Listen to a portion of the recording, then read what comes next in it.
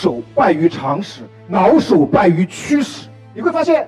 老手这些公司，传统企业公司在这几天被数字化的企业所开始去颠覆。过去我们说，全中国最大的书店是新华书店，现在可能是当当，可能是京东。前几年我们说最大的媒体是 C C C T V，但今年你可以看到大量的媒体当中，包括春节去看春节晚会，以及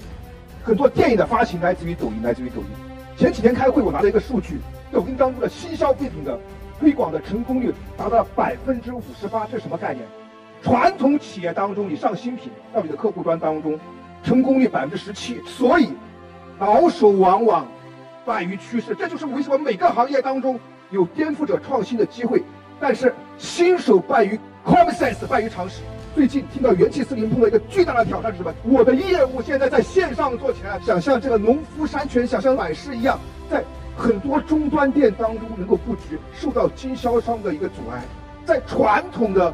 零售行业非常经典的一个玩法叫做深度分销，也就是把我的产品渗透在任何一个场所的消费末端当中。这其实是在整个消费品行业当中的 common sense，common sense。今天元气森林